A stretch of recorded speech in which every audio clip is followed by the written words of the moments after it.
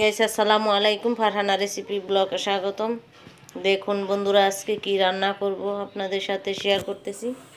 তো এই যে দাঁড়া আর বেগুন একসাথে নিয়েছি, তো এই যে লটকা শুটকি নিয়েছি, আর যে এখানে লাউ শাক পোলে নিয়েছি। বন্ধুরা, এই যে শুটকি ভেজে নেব কড়াইয়ের মধ্যে দিয়ে। কোন বাজা কিন্তু হয়ে গেছে, তো এর মধ্যে একটু গরম পানি দিয়ে দিয়ে নেব। শুটকিগুলো দিয়ে নিচ্ছি। ধুয়ে না নেন তাহলে কিন্তু বালু বালু লাগবে, এই জন্য ধুয়ে নিতে হবে। দেখুন বন্ধুরা, এই যে প্যানের মধ্যে তেল দিয়ে দিয়েছি।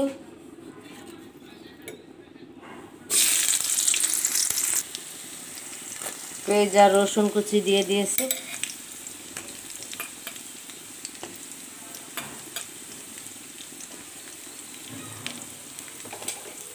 কাঁচা মরিচ দিয়ে দিয়েছি।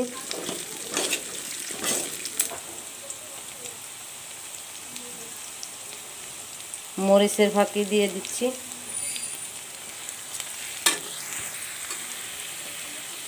হলুদ দিয়ে দিচ্ছি।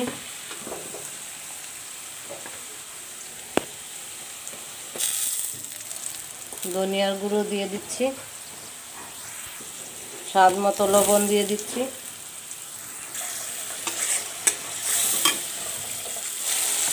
বন্ধুরা যে শুটকিগুলো দিয়ে দিচ্ছে। লটকা শুটকি দিয়ে রেখেছিলাম, তো ওগুলো দিয়ে দিয়েছি। তো ওগুলো এখন ভালো করে কষিয়ে নেব। মশলাটা কিন্তু ভালো করে কষিয়ে নিয়েছি।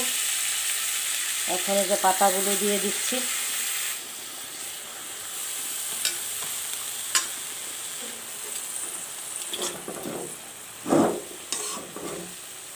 দিয়ে কিন্তু শুটকি দিয়ে রান্না করতেছি।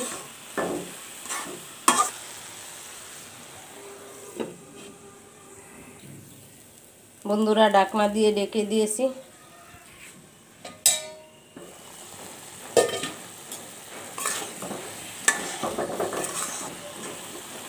দেখুন বন্ধুরা, লাউ পাতা দিয়ে শুটকি দিয়ে কিন্তু খেতে অসাধারণ হয়। তো আপনারা এরকম করে বাসায় ট্রাই করে দেখবেন। রান্না করে খেয়ে দেখবেন, অসাধারণ হয়।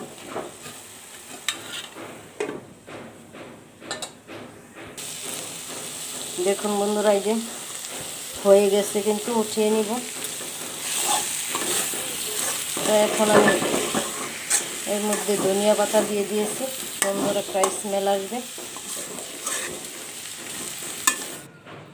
দেখুন বন্ধুরা, এই যে উঠিয়ে নিয়েছি। দেখুন বন্ধুরা, এই যে আর কি রান্না করতেছি, আপনাদের সাথে শেয়ার করতেছি। তো দেখুন, এই যে মাছ নিয়েছি।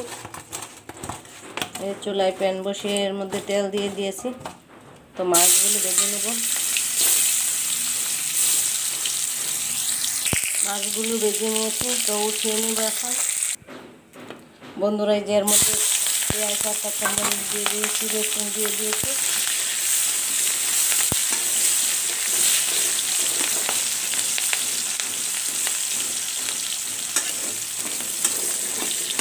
রসুনগুলো কিন্তু আমি কুচি করে কেটে নিয়েছি। হলুদ দিয়ে দিচ্ছি। মরিচের ফাঁকি দিয়ে দিয়েছি।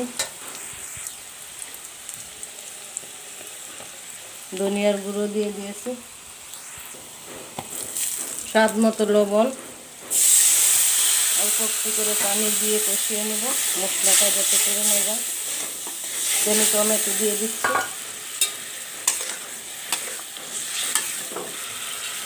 টমেটোগুলো একটু কষিয়ে নেব।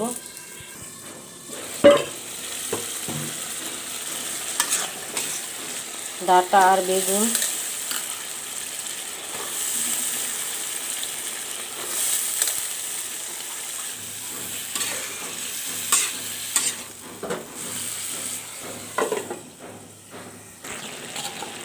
দেখুন বন্ধুরা যে এর মধ্যে আলু দিয়ে দিয়েছি।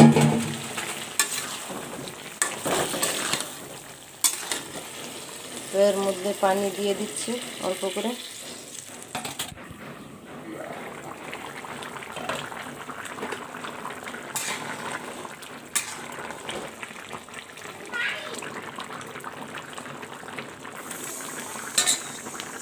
এই যে দেখুন, টাটকা ধনিয়া পাতা। তো সুন্দর স্মেল আসছে, তো দিয়ে দিচ্ছি। লাউ শাক রান্না করেছি। তো এখানে দাঁড়া দিয়ে বেগুন দিয়ে রান্না করেছি, তো কীরকম হলো কমেন্ট করে জানাবেন। তো আজকের রেসিপি আমার কীরকম হলো কমেন্ট করে জানাবেন। ভালো লাগলে লাইক কমেন্ট শেয়ার সাবস্ক্রাইব করে দিবেন। আজকের মতো এখানেই শেষ করছি। আল্লাহ হাফেজ।